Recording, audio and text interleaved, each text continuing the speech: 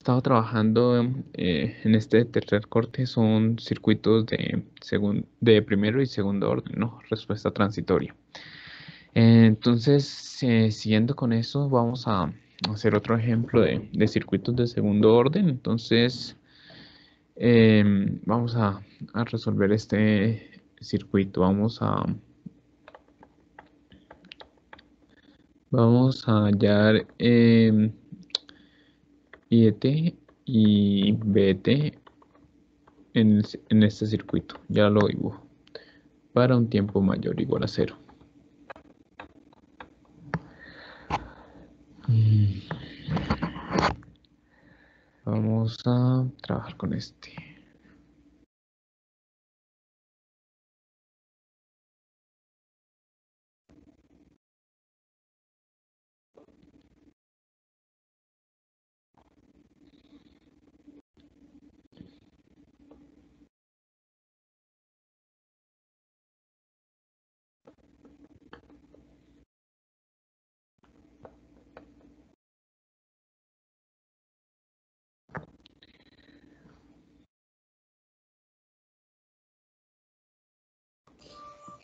Profe, disculpe, le iba a hacer esto, una, una pregunta. Eh, Profe, lo que es que esto, pues yo ya, ya entregué a mediodía los talleres, pero pues me falta, me faltan ver unos videos de, y tomar apuntes de unos videos que usted había dejado, entonces a ver si habría la posibilidad de que usted dejara entregar los apuntes eh, hasta el sábado. Es que esto. entregué los talleres, pero he estado bastante atareado con otras materias también, entonces no, no me ha quedado tiempo de terminar de ver los videos que usted había dejado. Envíemelo solo mañana, pero como tal, esto, pues no voy a modificar la fecha ahí en el team, pero sí puedo subirlo hasta mañana.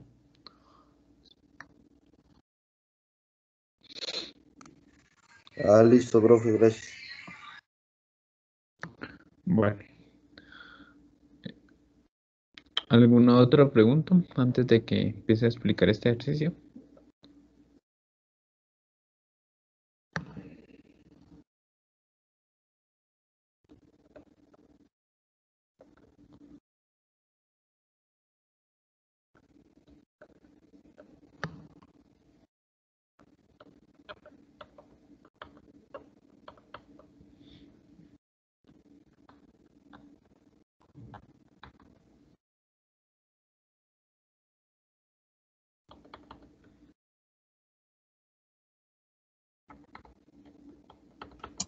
Hola, profe, disculpe, acabé de entrar.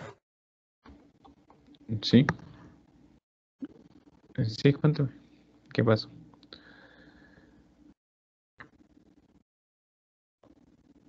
Eh, eh, ¿Cuál era la, la duda? No. Bueno, listo. Entonces voy a empezar ahora a explicar este ejemplo. Este, para... Eh, sí.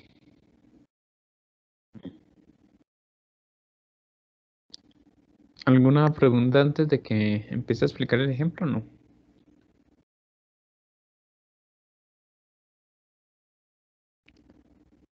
Bueno, entonces...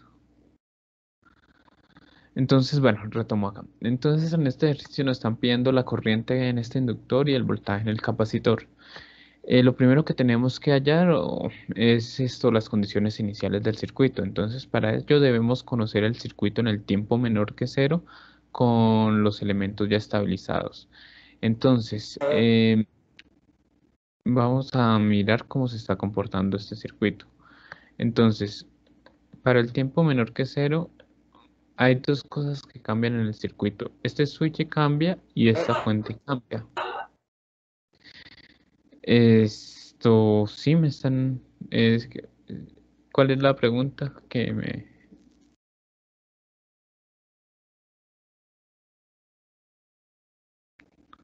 No, no hay preguntas. Bueno, entonces retomo, retomo acá el ejercicio. Bueno, para el tiempo menor que cero les digo que hay dos elementos que cambian. Entonces es muy importante interpretar estos elementos cómo están cambiando.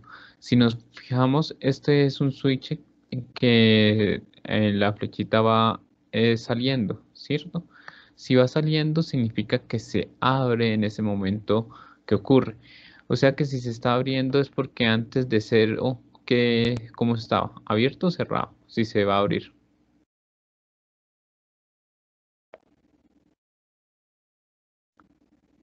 está cerrado, ¿no? Si se va a abrir es porque tiene que estar cerrado. Y para el tiempo mayor que cero, pues va a estar abierto, ¿no? Entonces, eso es lo que tenemos que tener bastante en cuenta para, para poder analizarlo. Ahora, lo otro que debemos mirar es esta fuente. Esta fuente es mu de menos t. Significa que si recordamos un poquito lo que es el escalón unitario invertido, es una función que vale 1 cuando t menor que 0 y 0 cuando t mayor que 0. Esto significa que esta fuente estaría encendida para el tiempo menor que 0 y se apagaría para el tiempo mayor que 0. Eh, dado estas condiciones del ejercicio, pues eh, vamos a, dibujar el circuito con los elementos ya estabilizados, ¿no? Entonces, eh, dibujamos acá, que están las tres resistencias, estas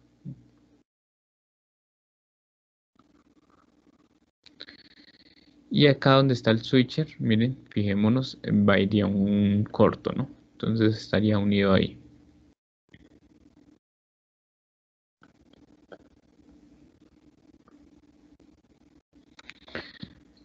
Lo otro que notamos, el capacitor está estabilizado, entonces ahí es un circuito abierto.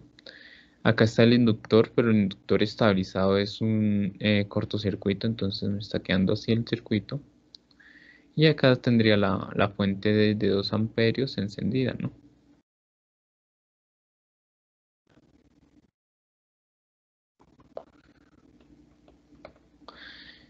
Y bueno, eh, le voy a colocar valores a esto, a las, a las resistencias 30,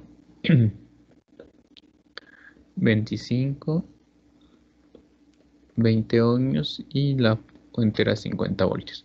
Entonces, lo que tenemos que averiguar con este circuito, en el tiempo menor que cero, es el voltaje acá inicial y la corriente inicial.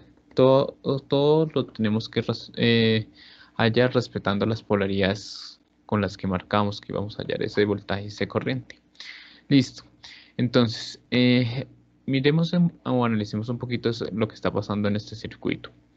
Eh, resulta que al capacitor al abrirse me, está partiendo el circuito en dos circuitos totalmente diferentes que no interactúan el uno con el otro.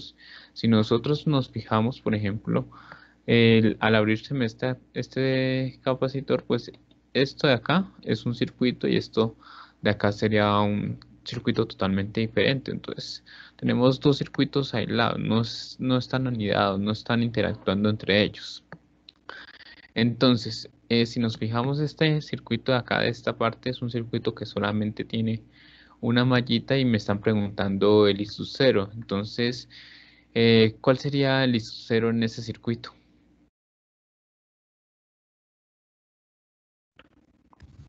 Menos 2 amperios. Menos 2 amperios, eso es correcto. Ahí solamente tenemos un circuito. Menos 2 amperios. Listo. Entonces ya tenemos ese esta corriente inicial. Ahora necesitamos conocer el voltaje que está cayendo en este circuito abierto. Recuerden que para analizar un voltaje a circuito abierto lo que tenemos que hacer es una LVK. Entonces si nosotros hacemos la LVK pues acá en el corto no se cae tensión. Miren, fíjense, solamente la LVK estaría aportando o estaría aportando como voltaje esta resistencia de 20, ¿cierto? Entonces, si nosotros miramos o hacemos la LVK, miraríamos de que eh, si coloco el voltaje acá más y al menos, se sería, o sea, se estarían reflejando ahí. Y el voltaje de, de B 0 sería el voltaje en esa resistencia de 20 ohmios. Entonces, eh, sí, lo que necesitamos es conocer cuánto voltaje hay en esa resistencia de 20 ohmios. Por lo tanto, por ejemplo, tenemos que analizar este circuito. Este circuito lo tenemos que analizar para poder hallar es, podemos utilizar el método de mallas, el método de nodos para poder analizar ese circuito y, mirar cuánto tensión hay en esa resistencia de 20 ohmios. Eh, ¿Cómo analizamos este circuito? ¿O cómo quiere que los analicemos?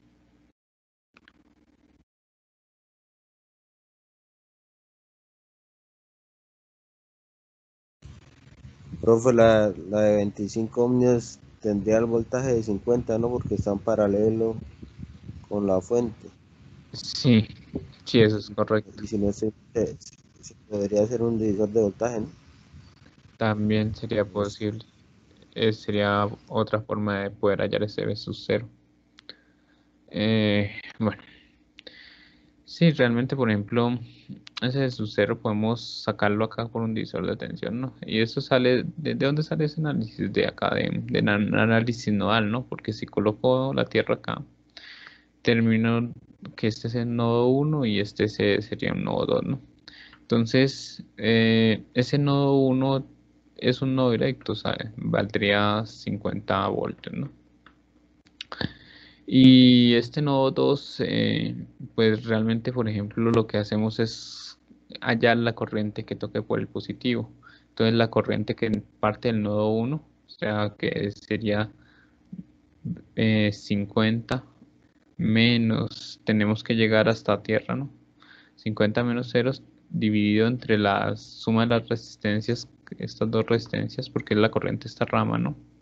Fíjense que esto no está interactuando acá, ¿no? Entonces sería sobre 30 más 20 y multiplicamos por la resistencia en la que queremos hallar la fuente, que esto al final de cuentas es un divisor de tensión, ¿no? Entonces, haciendo esas operaciones, pues me da que el, voltaje ahí en ese B2 es 20 voltios, o sea, el voltaje acá, de acá a acá, es 20 voltios. Y si nosotros nos fijamos, e- ese B2 sería el mismo B sub 0, ¿no? ¿Por qué sabemos eso? Porque si nosotros miramos tierra que marcamos todo esto como, como ro- rojo, tierra es todo esto. Ah, tierra es todo esto, ¿no? Entonces tierra está tocando por el negativo y por el positivo está, toca- está tocando B2, ¿no? Entonces podemos concluir que eh, B sub 0 es B2 menos 0, ¿no? Entonces, eh, eh, B0 es igual a B2. O sea que eso es igual a 20 voltios. Con ello ya hemos hallado las condiciones iniciales. ¿Alguna pregunta hasta acá? ¿Hay necesidad que lo analicemos por otro método o ya están duchos en eso?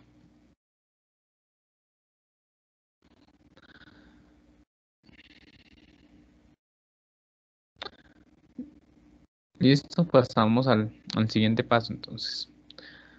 El siguiente paso es mirar el circuito en el tiempo mayor que cero. Para mirar el circuito en el tiempo mayor que cero, eh, o ¿qué vamos a mirar en el circuito en el tiempo mayor que cero? Vamos a hallar las derivadas de corriente y las derivadas de voltaje en el tiempo cero.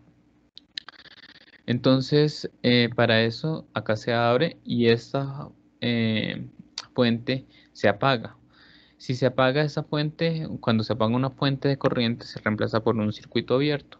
O sea, el circuito para el tiempo mayor que cero es este circuito. Ya lo dibujaría acá.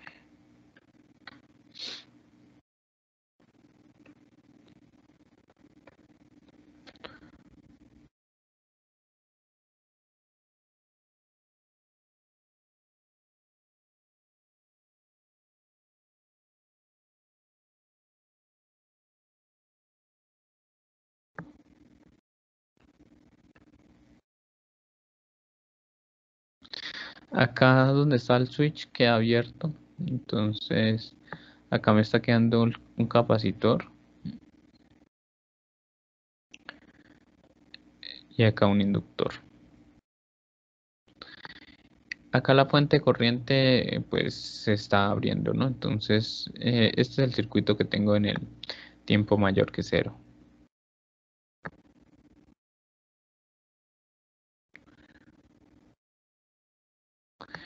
Importante acá marcar las polaridades con las que hallé el voltaje inicial y la corriente inicial, ¿no? porque en los cálculos que vamos a utilizar derivadas de voltaje y derivadas de corriente, el inductor propiamente se está comportando como una fuente de corriente y el capacitor como una fuente de tensión, como una fuente de voltaje. Entonces acá este inductor era de 5 milihenries, este capacitor era de 100 microfarads. Entonces tenemos esto. Bueno, entonces empecemos analizando la, derivada de tensión. Para hallar la derivada de tensión, fíjense que nosotros tenemos que mirar es el capacitor. Entonces, eh, en, el capacitor tenemos que hacer una LSK, entonces ahí lo mejor es hacer la LSK en este punto, ¿no? conocemos la corriente acá del inductor, ¿cierto? Y la, y la corriente del capacitor. Si este capacitor, esto, un capacitor es un elemento pasivo, debió haber absorbido potencia, o sea que la corriente del capacitor para que se fuera cargado debió haber entrado de esta manera. Entonces tenemos la corriente del capacitor y esta sería la corriente del inductor. Entonces al hacer la LSK en, en este nodo, LSK en el capacitor, estamos haciendo ahí en, en el capacitor, me queda que la corriente del capacitor entra y la corriente del inductor sale, o sea que la corriente del capacitor sería igual a la corriente del inductor. ¿Y qué es la corriente en el capacitor? Es capacitancia por derivada de voltaje o derivada de tensión, ¿no? Y, la corriente del inductor es la IT. Eh, ya tenemos esta ecuación, entonces cuando ya tenemos esta ecuación lo que hacemos es reemplazar para un tiempo igual a cero. Entonces decimos para t igual a cero como me queda eso. Entonces esto me queda, este capacitor lo puedo mandar acá a dividir y entonces esto me queda dB0 dt sería igual a la corriente inicial sobre la capacitancia. Listo, entonces conocemos la corriente inicial y conocemos la capacitancia. La corriente inicial la, calculamos acá arribita, menos 2, y la capacitancia es de 100 eh, microfaradios. Entonces hacemos esa operación entonces, menos 2 dividido entre 100 por 10 a la menos 6. la calculadora. Bueno, eso da menos 20.000. ¿Listo? Entonces, eso me da menos 20.000 voltios sobre segundo. Entonces, esa es la, la derivada de voltaje. Eh, ya, por ejemplo, si me interesa analizar solamente el voltaje en el capacitor, con esta derivada de voltaje me basta. No necesito conocer la derivada de corriente inicial. Eh, bueno, ahora lo voy a resolver de los, de los dos posibles eh, formas que hay, de, o bien por voltaje o bien por corriente. Y realmente, por ejemplo, para hallar eh, la derivada de corriente, tenemos que pararnos en el inductor y hacer una LVK.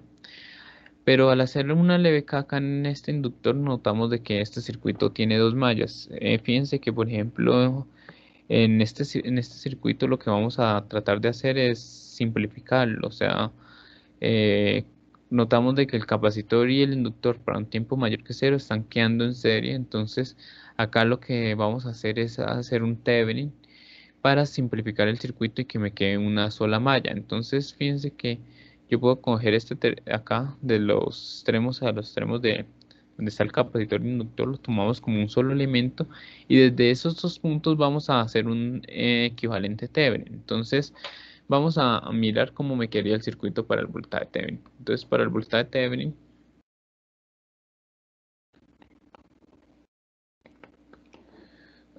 sigo acá con rojo. Eh, para el voltaje Thevenin tendría este circuito de acá.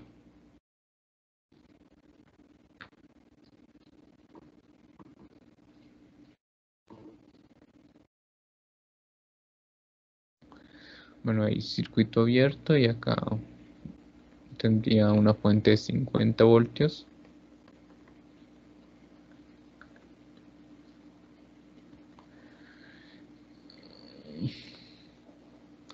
y lo que me están pidiendo es el voltaje Thevenin entre esos terminales, ¿no? Esta resistencia es de 30 ohmios, esta es de 20 ohmios. Ah, no, no es, perdón, esa era 25. Y esta de 20 ohmios. Entonces, eh, tenemos que hallar el voltaje de acá acá, ¿no? entonces eh, cuando ocurre esto, pues procedemos a hacerlo al análisis, ¿no? Entonces, por ejemplo, acá podría ser una mallita, ¿no? Esta malla está circuito abierto, entonces eh, simplemente me queda esa malla 1, ¿no? Entonces, si yo hago esa malla 1, eso me queda 31 eh, más 21 más 25 y 1 igual a 0. Sumando todo eso, eso me da 75 y 1 igual a 0, o sea que y 1 es igual a 0 sobre 75. Y 0 sobre 75 es 0. Realmente nos damos de cuenta que por esa por esta malla no hay corriente, ¿no? Es lógico porque no tenemos ninguna fuente de tensión, ¿no? O ninguna fuente corriente. Eh, alguien más eh, pudo haber dicho, por ejemplo, no, pues eh, estos están en serie, estas dos resistencias, ¿no? Y eso quedaría en paralelo con 30 y esa resistencia equivalente queda circuito abierto, entonces como es así, resistencia que a circuito abierto, por esa resistencia no se cae de tensión.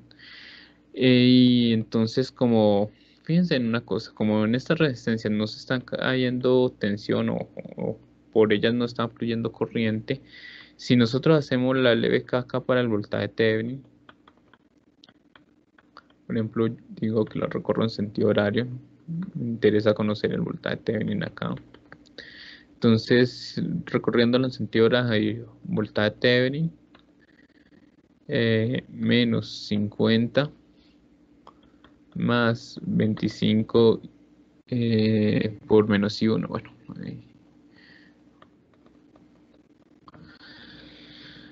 Más 20 eh, por menos I1, pero ya sabemos que I1 es, es igual a 0, entonces esto me queda vuelta de Thevenin menos 50, entonces es 0, igual a 0, o sea que vuelta de Thevenin es igual a 50 voltios. Este es como el análisis que uno hace cuando analiza por mallas, pero como les dije hace ratico, pues alguien pudo haber dicho, no, pues en estas resistencias, toda esa, la resistencia equivalente de, acá a acá es una resistencia que queda circuito abierto y si esa resistencia queda en circuito abierto, en esa resistencia no se cae tensión y todo ese voltaje se va a ver reflejado acá. Entonces, si notamos, el voltaje de Thevenin es el mismo voltaje de esa fuente de tensión. Listo, ya hicimos lo que es el voltaje Thevenin. Ahora vamos a, mirar lo que es la, la resistencia Thevenin. Entonces, para la resistencia Thevenin, cogemos este circuito y lo que vamos es hacer apagar la fuente de tensión. ¿Listo? Entonces, para la resistencia Thevenin, apagamos la fuente de tensión. Entonces, el circuito que me está quedando es este circuito. Ah.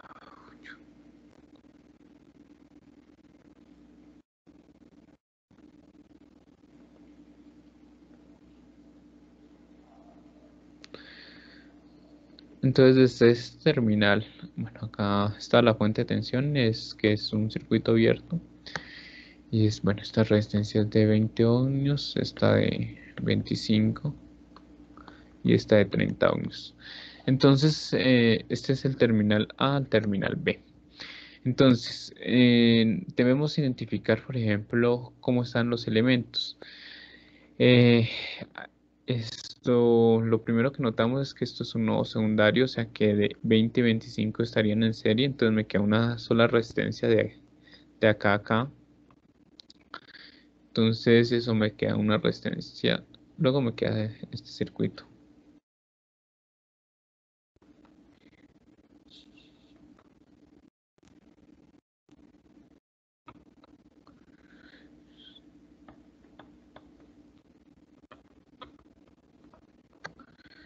¿Cómo estarían esas dos resistencias?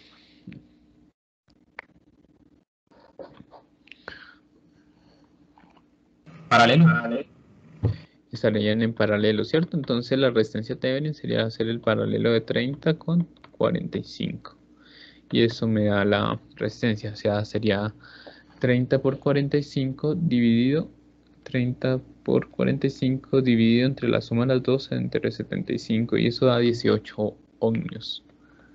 Entonces realmente el equivalente Thevenin sería una fuente de tensión de 50 con una resistencia de 18. O sea, este circuito que tenemos acá se puede simplificar a un circuito que solamente va a tener una malla, que bueno, sea el circuito simplificado es este.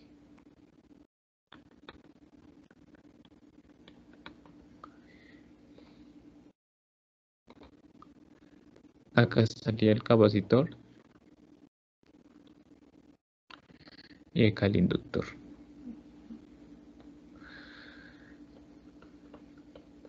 Eh, muy importante marcar las polaridades acá del voltaje y la polaridad de corriente. De esta manera llamo el voltaje inicial y de esta manera llamo la corriente inicial.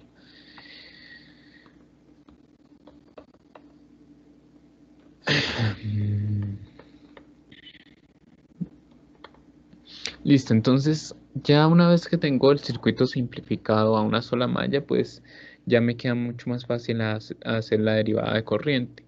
Para hallar la derivada de la corriente, tengamos en cuenta de que si el inductor se tiene esta polaridad de corriente, significa que él debió haber absorbido potencia. Entonces, la polaridad con la que vamos a trabajar con el, en el inductor sería este, más menos. La corriente del inductor tiene que estar tocando por el positivo. Entonces, al hacer la LBK en ese inductor, eh, nos damos de cuenta acá, voltaje en el inductor.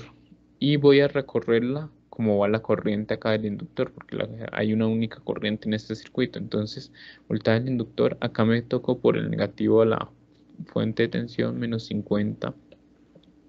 Acá sería, este es un elemento pasivo la resistencia, o sea que acá noto más voltaje en la resistencia. Y este capacitor es una fuente de tensión, la estoy tocando por el positivo, o sea que sería más voltaje en el capacitor y en este momento determinado a ser la LVK. Eh, si nos damos de cuenta, voltaje en inductor es inductancia por derivada de corriente. El voltaje en una resistencia Ah, el voltaje en una resistencia es resistencia por corriente. Y resulta que conocemos la resistencia 18 y conocemos la corriente del circuito que sería la corriente del inductor. Entonces sería más 18 y T. Y el, capacitor eh, se comporta como una fuente de tensión o sea que ahí tenemos más BT igual a 0 con esta ecuación eh, lo que hacemos es reemplazarla en un tiempo igual a cero. Entonces cogemos eso y lo reemplazamos para t igual a cero. Entonces eso me queda inductancia por derivada de corriente inicial. Esto me queda menos 50 más 18 eh, y su 0 más b sub 0 y todo esto igualado a 0. Eh, listo, entonces vamos a, ahorita reemplazo el inductor, vamos a reemplazar los otros valores, inductancia por derivada corriente. Esto es menos 50, eh, acá sería 18 por ISO 0. ¿ISO 0 cuánto era? ¿Cuánto era la ISO 0? Menos 2 amperios. Menos 2, entonces 18 por menos 2, eso da menos 36. ¿Y B sub 0 cuánto era? 20 voltios. 20 voltios más 20. Entonces, ahí ya tenemos la, Entonces, sumamos los términos.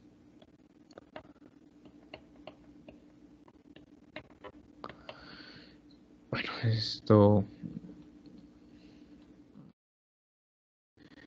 Menos 56 menos 36 menos 86 más 20, eso da menos 66. Y esto igualado a 0. O sea que la derivada corriente inicial sería 66 pasa acá positivo y el inductor que estaba acá multiplicando lo paso acá a dividir, o sea sería 66 sobre L. Y acá tengo el inductor que es de es 5 milihenrios. Entonces sería 66 dividido entre 5 por 10 a la menos 3. Eso da 13.200. Entonces, em, esto, la derivada de corriente sería 13.200 amperios sobre segundo. eh, de esta manera ya conocemos la derivada de, corriente inicial. Siguiente paso, eh, mirar las condiciones finales del circuito. ¿Cuáles son las condiciones finales del circuito? Cogemos esto, el circuito en el tiempo mayor que cero y estabilizamos el circuito. Eh, ¿Qué significa esto? Que cogemos el inductor y el capacitor, el inductor lo reemplazamos por un corto y el capacitor por un circuito abierto. Podemos tomar este circuito de acá o podemos tomar este circuito ya simplificado, ¿no? Entonces, si nosotros miramos el circuito para un tiempo mucho mayor que cero, vamos a trabajar ya con el circuito simplificado. Eh, me queda algo así, me queda acá una fuente de tensión, 50 voltios. Acá me queda la resistencia de 18 ohmios. Acá está el capacitor y acá está el inductor, ¿no? Entonces, eh, lo que me están preguntando en este circuito sería la corriente acá final y acá el voltaje final. Entonces, ¿cuál sería la corriente final en ese circuito?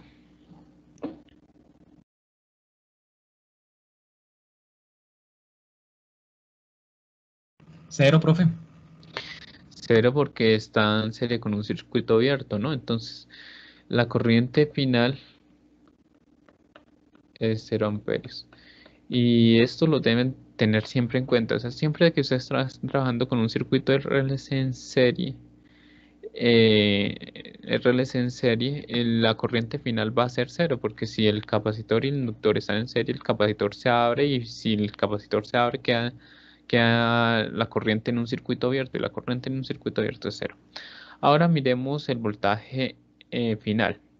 Si vemos el voltaje final, por acá, por este circuito no está circulando corriente. O sea que si no está circulando corriente en esta resistencia no se cabe, no caería voltaje porque acá el voltaje de esta resistencia sería ah, resistencia por corriente, o sea 18 por 0. Entonces, ¿cuál, eh, o sea, al no caerse tensión acá en esta resistencia, este voltaje se va a ver reflejado acá, ¿no? Ah, para que se cumpla la LVK. Entonces, ¿cuál es el voltaje final? 50. 50 voltios. Entonces, y esto lo pueden ya deducir, por ejemplo, siempre que estén trabajando en un circuito de relación en serie, o sea, eh, este mismo circuito que ustedes hicieron para hallar el voltaje Thevenin, si ustedes se fijan, es el mismo análisis que tendrían que hacer si quisieran saber el, voltaje en el capacitor, porque el capacitor lo que están haciendo es abriendo ahí un, circuito abierto. Entonces el voltaje Thevenin va a terminar siendo el mismo voltaje final. Ya como tal, en este punto ya tenemos eh, todas las eh, condiciones iniciales, las condiciones finales. El siguiente paso consiste en determinar la dinámica y veíamos dos formas de determinar la dinámica. Una, si el circuito es reducible a RLC en serie y o a RLC en paralelo, aplicar las ecuaciones que se dedujeron en clases anteriores acerca de lo que es el factor de amortiguamiento y la frecuencia de resonancia. Y la otra es hacer un modelamiento mediante Laplace, que es conocido como el método de operador, que, bueno, es, eso fue, ese método fue introducido por Oliver Heaviside. Ah, esto Por Oliver Heaviside. esto. Bueno, eh, entonces voy a. Vamos a mirar el circuito. Vamos a. esto a coger este circuito que estamos en tiempo mayor que cero y ya como tenemos el circuito vamos a mirar la dinámica en, ese circuito aplicando las, las ecuaciones de factor de amortiguamiento y factor de resonancia.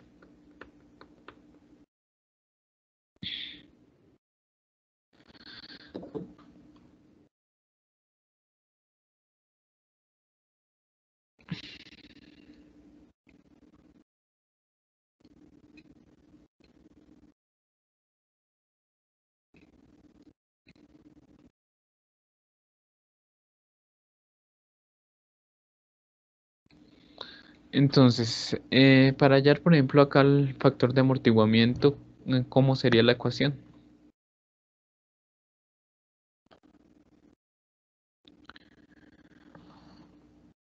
El factor de amortiguamiento en un circuito de relación en serie, ¿cómo, cómo está dado? R sobre 2L. ¿no?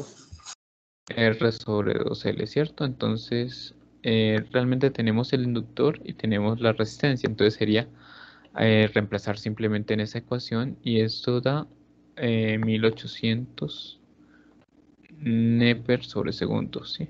Esas son las unidades del, del factor de amortiguamiento y la frecuencia de resonancia sería 1 sobre la raíz del inductor por el capacitor y tenemos el inductor y tenemos el capacitor y entonces simplemente eh, vamos a reemplazar ahí el inductor es de 5 por 10 a la menos 3 y el capacitor es de 100 por 10 a la menos 6 y eso me da un factor de amortiguamiento una frecuencia de resonancia perdón, de 1414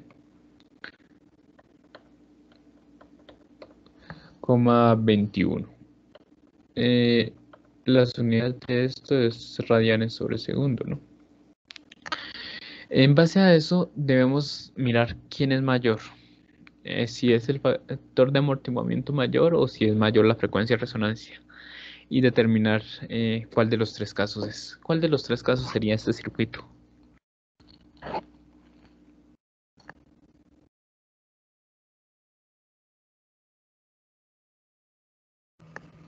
Sería sobreamortiguado, profe.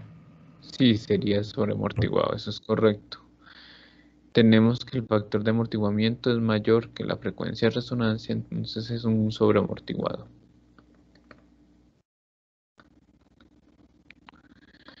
Eh, si es un sobreamortiguado, lo que tenemos que conocer son las dos raíces reales del, sistema, entonces esa S1 se calcula como menos factor de amortiguamiento más la raíz del factor de amortiguamiento al cuadrado menos la frecuencia de resonancia al cuadrado. Esa es la, esa es la primera eh, raíz y la otra raíz es, eh, o la otra frecuencia es esta.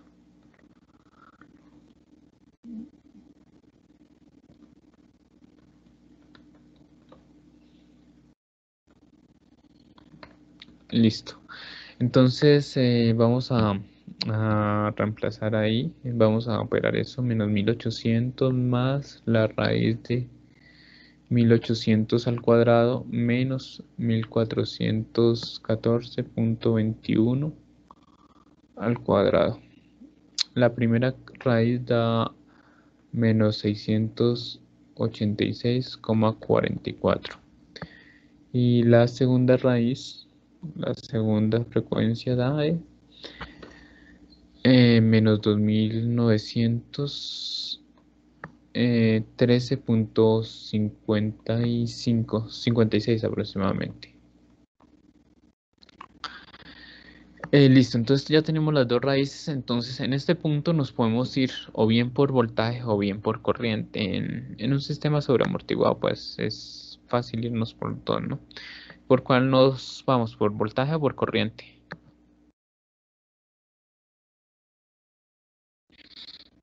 que hallamos primero? ¿Voltaje o, primero hallamos la corriente? Voltaje. Voltaje, entonces. Listo, nos vamos a ir por voltaje. Entonces, eh, si nos vamos por voltaje, eh, decimos BT sería igual a una constante A1, Euler a la S1 y S1 es esto, menos 686,44 T más a2 Euler a la menos 2913,56 T más el voltaje final. ¿Y cuánto era el voltaje final? El voltaje final era este voltaje acá, ¿no? Más 50. Entonces, eh, para conocer estas eh, constantes A1 y A2, lo que tenemos que hacer es eh, sacar una ecuación reemplazando en el tiempo a cero. Después cogemos esta función, la derivamos y reemplazamos en el tiempo cero. Entonces, vamos a mirar, vamos a reemplazar esto para t igual a cero. Y esto me queda b de 0 es igual a 1 Euler a la 0 más a 2 Euler a la 0 más 50. Entonces, esto me queda, B0 era, ¿qué? 20 voltios, ¿no? Entonces, 20 a 1 más A2 más 50. Este 50 que está sumando lo puedo pasar a restar y esto me queda acá una primera ecuación, A1 más A2 es igual a menos 30 y esta sería la primera ecuación. Después cogemos esta función y la derivamos. Si notamos son tres, eh, es una derivada de, una suma de tres sumando. Entonces eh, vamos a derivar ese BT. Bueno, entonces, la derivada de, esta primera función, notemos que eh, acá tenemos una función interna, entonces derivamos primero esto que está acá. La derivada de menos 686.44t es menos 686,44. Y esto me queda, eh, la derivada de Euler es Euler, entonces esto me queda esta función A1, Euler a la menos 686,44 44t. Esa sería la derivada. La derivada de, de esta otra función sería menos 2913,56 por A2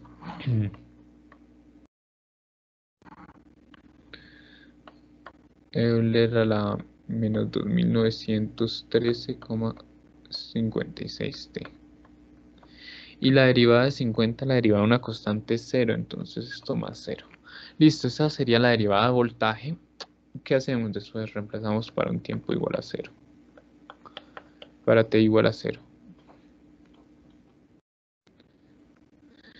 Entonces, esto me queda que debe 0 de t es igual a menos 686,44 a 1 Euler a la 0 menos 2913,56 a 2 Euler a la 0 eh, y Euler a la 0 es 1, ¿no? Ahora, eh, fíjense que acá me aparece la derivada de voltaje. Entonces, ¿qué tenemos que hacer? Mirar cuánto nos dio la derivada de voltaje inicial, que la debimos haber calculado por acá arribita. Eh, derivada de voltaje inicial. Derivada de voltaje inicial es menos 20.000, entonces eh, de esa manera pues ya tenemos la segunda ecuación. Entonces la segunda ecuación sería esto, menos 686.44 a 1 menos 2913,56 a 2 igual a menos 20.000 que la derivada inicial que la derivada vuelta inicial que, que hayamos arriba, ¿no? Entonces, como tal, acá ya tenemos un sistema de dos ecuaciones, dos incógnitas. O sea, tenemos esta primera ecuación y tenemos esta segunda ecuación. Si resolvemos el sistema de ecuaciones, pues nos van a dar las dos constantes A1 y las dos constantes, bueno, sí, las constante A1 y la constante A2. Entonces la voy a resolver acá con mi calculadora. Eh, bueno, ingreso los parámetros. La primera ecuación sería 1, 1 y menos 30. La segunda sería menos 686.44 menos 2913.56 y menos 20.000. Y bueno, eso me da la, las constantes. ¿Cuánto daría la 1? ¿Quién lo hizo?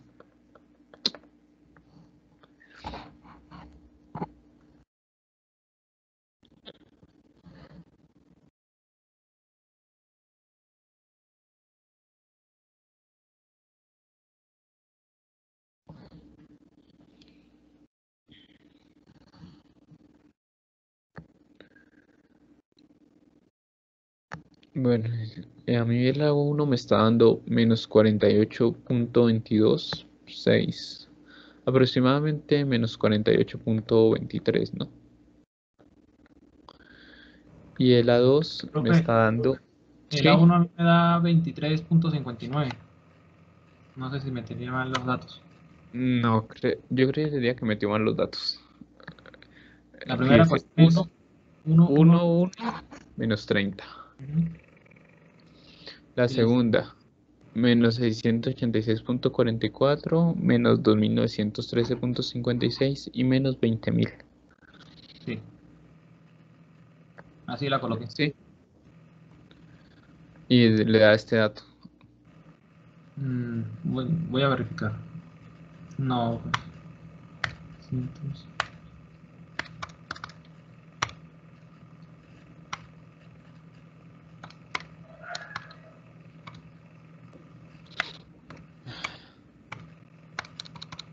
Si quieren envíenme una foto cómo está ingresando los datos y lo miramos acá en la por el, el WhatsApp. Me sigue dando diferente. Te lo voy a enviar. Listo. Bueno. Entonces, ya como en, en este punto, pues ya tendríamos, eh, o ya conoceríamos el, el voltaje, ¿no? O sea, el voltaje en el capacitor se me comporta de esta manera. Eh, menos 48.23 Euler a la menos 686,44 T menos, eh, ah no, más, más 1823 más 1823 Euler a la menos 2913,56 T más el voltaje final que es 50 este es el comportamiento de, este circuito, o sea, este es un circuito que, por ejemplo, el transitorio, el transitorio me está escrito por estos dos términos. Y si nos fijamos, estos dos términos van a desaparecer de, de- después de cierto tiempo. Eh, ¿cómo sabemos cuánto ya han desaparecido estos dos términos? Si nosotros nos fijamos o nos miramos en un circuito de primer orden, sabíamos de que, por ejemplo, en un circuito de primer orden teníamos esto, Euler a la menos t sobre tau. O sea que si nosotros eh, comparamos, esto es como dos, dos dos sistemas de primer orden, dos, dos transitorios de, primer orden, ¿no? Entonces, eh, si nosotros nos comparamos, podríamos tener que la primera eh, ecuación de o el primer tau sería menos 686,44 es igual a 1 sobre el tau 1, ¿no? O sea que el tau 1, ¿cuánto está durando? 1 sobre ese número.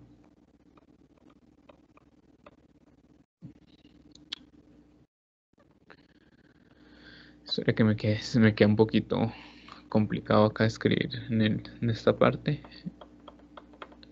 Y el tau 2 sería lo coger esto y dividir los 1 sobre, bueno, realmente es dividirlo sobre la parte positiva porque es esto sería menos y menos, ¿no? O sea, eh, 1 sobre 2913,56. Eso, eso serían los dos eh, del sistema. Y si nosotros hacemos eso, eh, sería 1 sobre 686, 1 dividido entre 686.44. Eso me da que ese, eh, este tau 1 es aproximadamente de 1.456, aproximadamente 1.46 milisegundos. Y este otro tau 2 es de 1 sobre 2913.56. Ese es de 3.43 por 10 a la menos 4, o sea, eso sería aproximadamente 0.34 milisegundos. Realmente, si nosotros observamos la constante más eh, o la constante lenta del sistema sería esta, esta parte. Esta es la parte que demora más, pero esta parte decae en 5 veces ese tiempo, o sea que después de 5 5 por 1.46 ya es- habrán desaparecido todos los transitorios, ¿no? 5 por 1.46 es aproximadamente 7.3 milisegundos. Podemos decir de que toda esa parte transitoria desaparecía y solamente me queda esta parte que sería 50 voltios. Pero esta parte transitoria, fíjense que es importante analizarla cuando queremos saber, por ejemplo, esos picos de tensión o de corriente que suceden cuando se hace una conexión, una desconexión. Por eso es que se estudia esta parte transitoria. ¿Alguna pregunta hasta acá? Voy a revisar eh, los mensajes que me han llegado.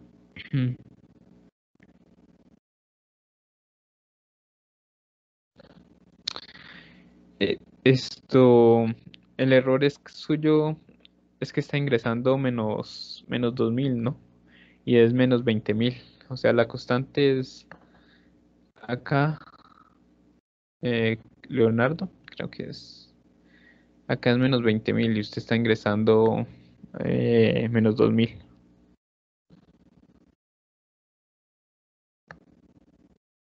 Ah, listo, profe. Eh, ahora con menos 20.000 me da 66. No se sigue dando de frente. Es que creo que está ingresando en B11 y ahí debería ser B1. Otro error que miro ahí. Ah, sí, sí, sí. A1, B1, C menos 30. Ujú. Mucho cuidado como, como ingresan los datos en, esos, en esas operaciones. ¿Listo? ¿Alguna otra pregunta?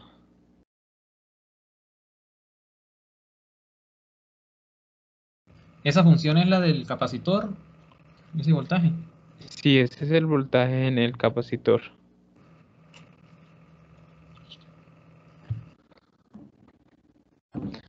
Esa es la, ese es el, ese es el comportamiento de- del voltaje en el capacitor. Ahora, eh, el ejercicio me está pidiendo la corriente en el inductor. Fíjense en una cosa, para hallar la corriente en el inductor, si sabemos el voltaje en el capacitor, me voy a mirar el circuito en el tiempo mayor que cero. El circuito en el tiempo mayor que cero es este, ¿no? Y por ejemplo, eh, si yo conozco acá el voltaje en el capacitor, podría hallar la corriente del capacitor. Y la corriente del capacitor, como al estar en serie, fíjense que la corriente del capacitor va a ser la misma corriente del inductor. Entonces, ¿qué podrías decir? Que IT sería igual la corriente del capacitor y la corriente del capacitor es capacitancia por derivada de tensión y como ya sabemos la ecuación de la ecuación de esto de voltajes, pues simplemente sería así reemplazar. Entonces voy a hacer eso. Voy a decir que eh, IT es igual a la corriente del capacitor y la corriente del capacitor es capacitancia por derivada de tensión. Entonces, eh, vete cómo me queda. Capacitancia, capacitancia es 100 microfaradios, o sea, 100 por 10 a la menos 6. Eh, vamos a coger esto y lo vamos a, a derivar, ¿no? Entonces, la derivada de esta primera función sería menos 686,44 por eh, menos 48,23 Euler a la menos 686.44 T. Listo, esa sería la primera, la primera derivada. La otra derivada sería menos 2913,56 por esta función, ¿no?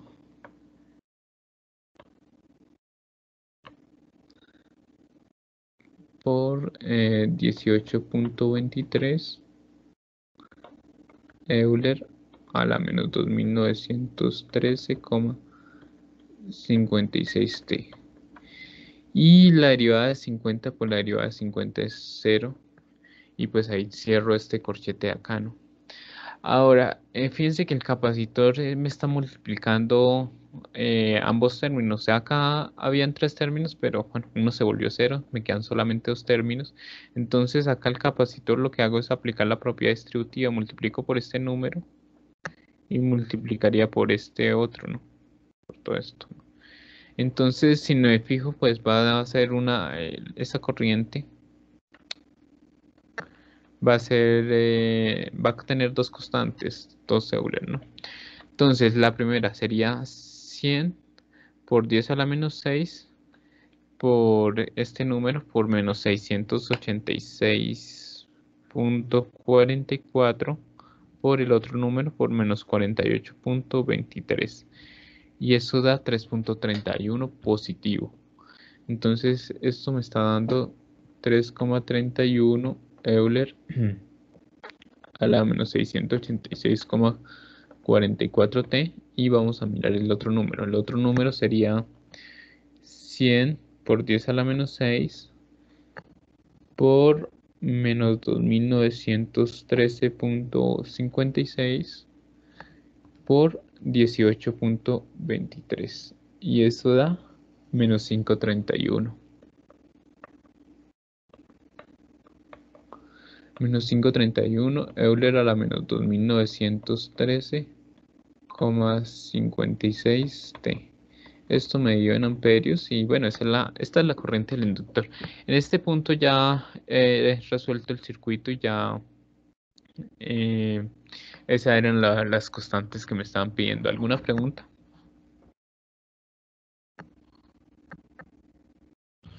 Para el capacitor, este, se tienen, siempre hay fórmulas para el, voltaje del capacitor y el, inductor, entonces siempre se trabaja primero la fórmula para el voltaje.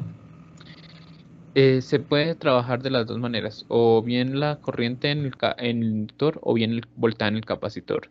O sea, siempre es lo primero que se puede hallar, voltaje en el capacitor o corriente en el inductor. Estos, ya si me están pidiendo una variable, por ejemplo, un voltaje en una resistencia, una corriente en una resistencia, pues tengo que coger el capacitor y reemplazarlo por una fuente de tensión y tengo que coger el inductor y reemplazarlo por una fuente de corriente y hacer el análisis respectivo para poder llegar a la deducción de, lo que me están pidiendo. Igual a lo que se hace ya en, circuitos de primer orden.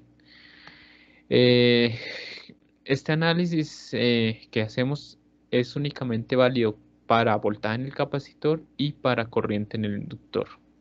¿Listo? Eh, bueno, esta es la forma de irse por el por capacitor, ¿no? O sea, esta es la solución. La otra solución o la otra alternativa que pudimos haber tenido fue irnos por corriente del inductor, ¿no?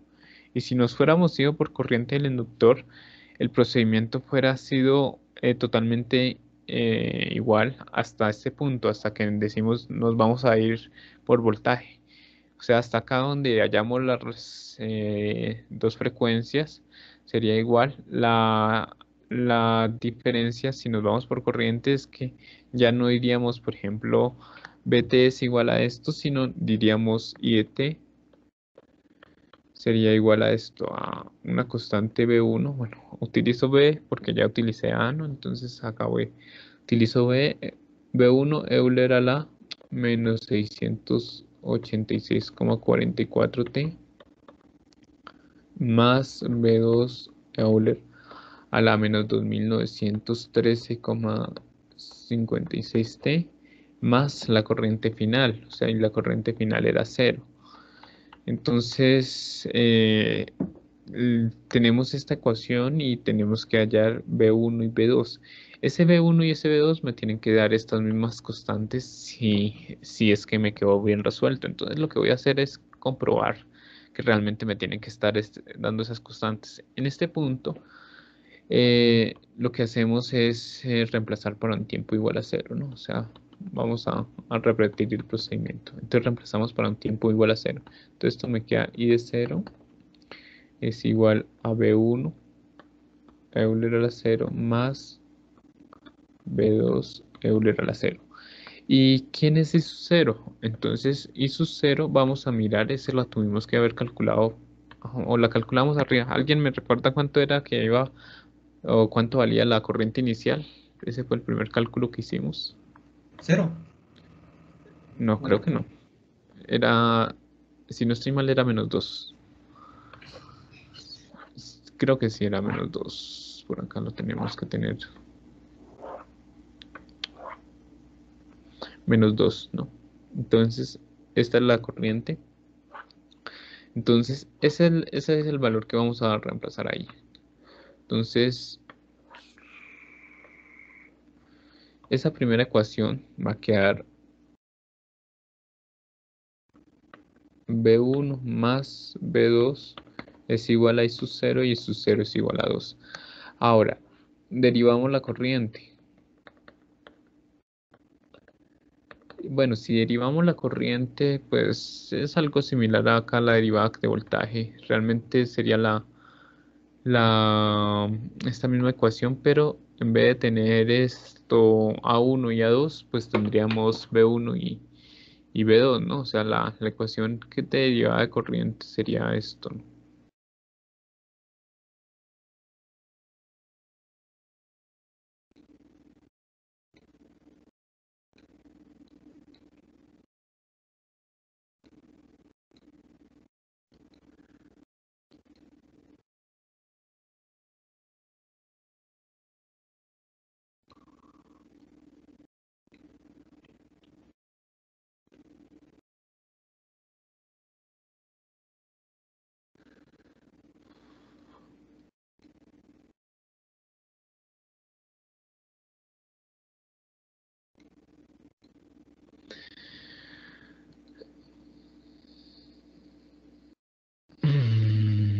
Bueno, solamente que acá no sería A1, sino acá sería B1, ¿no? Y acá no sería A2, sino acá sería B2, ¿no? Esa es la, la derivada de corriente. Ahora, si reemplazamos para un tiempo igual a cero, esto me da que la derivada de corriente inicial debería ser Euler a la 0 me, eh, me da 1, entonces eso es menos 686,44 B1 a menos menos 2913,56 B2 Ahora tenemos que recordar cuánto valía la derivada de corriente. La derivada de corriente la deberíamos haber tenido por acá arriba. La derivada de corriente inicial 13.200. Entonces ese es el dato que vamos a utilizar. O sea, ya tenemos el,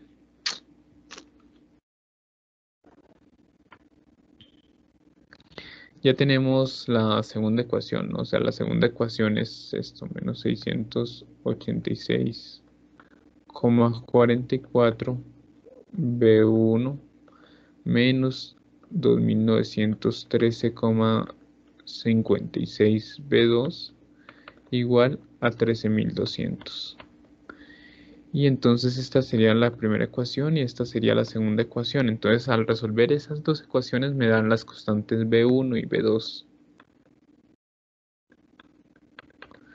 Entonces voy a resolver esas, sistema, esas dos ecuaciones, ¿no? Entonces la primera es ecuación 1, 1, menos 2. La otra es menos 686.44 menos 2913.56 y 13200 del resultado. Y eso me da que la constante eh, B1 es igual a 3,31 y la constante 2 menos 5,31. Y si notamos es las mismas constantes de acá, ¿no? Entonces, bueno, ya con eso comprobé que realmente la corriente está ahí, me está dando igual. Ya, por ejemplo, para hallar el voltaje en el capacitor, pues dado que el inductor y el capacitor están en la misma rama, eh, tienen la misma corriente, entonces eh, sabiendo la corriente de esto, de esa rama, esto eh, podría hallar el voltaje en el capacitor aplicando la ecuación 1 sobre C, la integral de corriente, y ahí si integro esta ecuación me tiene que dar esto, me tiene que dar esta ecuación de acá. Y acá cuando integre sale una constante y esa constante termina siendo el voltaje final, o sea que la constante eh, sería 50 voltios, eso es todo. Creo que en la clase pasada lo hice también. Hice un ejemplo cuando integrando, entonces pueden revisar como esa partecita. Eh, listo, eso es el, todo el ejercicio. Ahí ya lo, lo hicimos de las dos maneras posibles y comprobamos de que por ambos lados nos están dando el mismo resultado. Profe, profe, una pregunta. Sí, Esto en la corriente no iría sumada a la corriente final. O sea, más y infinita. sí, más I final, pero es que la I final es cero. Es, fíjense que la corriente final Ah, es sí, cero. sí, sí. Siempre va más corriente, más el valor final.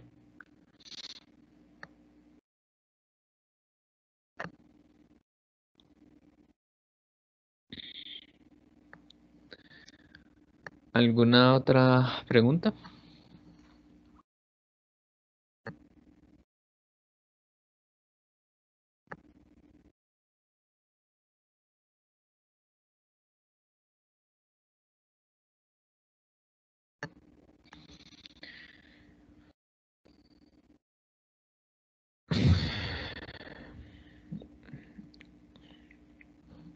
Bueno, eh, esto les comento ya como tal, eh, les publiqué los talleres del tercer corte. Esto van a, el tercer corte van a tener dos talleres, un taller de primer orden y uno de segundo orden. Eso va a equivaler a lo que es eh, el 10% más. eh, me da los apuntes. eh, sería la nota del 10%. Y esto, y lo que es el parcial sería el 20%. Eh, tentativamente el parcial va a quedar para de hoy en 15 el, el último parcial. Esto, eh, ya como tal, pues es- les puedo enviar otros ejercicios de, de repaso, o sea, otros ejercicios eh, de estos de segundo orden para que miren el procedimiento, para, para que practiquen un poquito más, ¿no? No sé si hay alguna pregunta. Profe, entonces el parcial queda para el jueves 8 de julio. Eh, sí, tentativamente. Vamos a dejar esa fecha. No sé si después la modifiquemos, pero por el momento vamos a dejar esa fecha. Profe, y el- los temas del, del tercer parcial serían respuestas a- respuesta transitoria de primer y segundo orden. Sí, esos serían los, los temas del tercer parcial. Listo.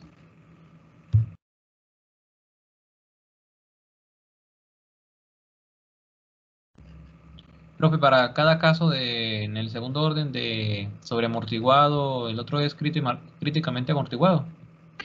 Y su amortiguado. Y su- Eh, el críticamente sí. amortiguado es cuando son iguales las constantes. Las, es cuando es el factor de amortiguamiento es igual que la frecuencia de resonancia. Esto, yo ahorita les publico unos enlaces de otros ejemplos eh, para que miren, por ejemplo, ahí tengo unos videos de, de, de caso crítico y caso subamortiguado, otros casos de subamortiguado. Creo que el- la clase pasada hicimos uno de subamortiguado. ¿Listo? ¿Listo, profe? la clase Sí. de hoy queda como apuntes del segundo o del tercer corte. todo lo que es respuesta transitoria es del tercer corte, o sea, del segundo corte no me, eh, o sea, solamente basta potencia. Cuando empezamos a hablar de eh, respuesta transitoria, eso no lo vayan a incluir en, en los apuntes del corte 2, ¿no? O sea, corte 2 va desde Thevenin Norton hasta potencia. Ya cuando empezamos a hablar de respuesta transitoria, eso es del tercer corte. Circuitos de primer orden también entran en el segundo.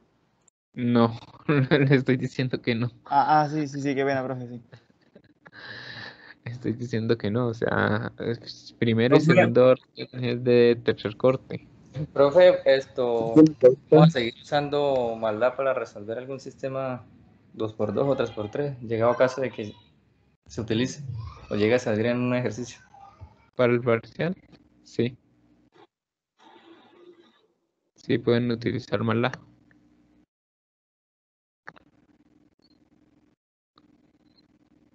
¿Alguna otra pregunta?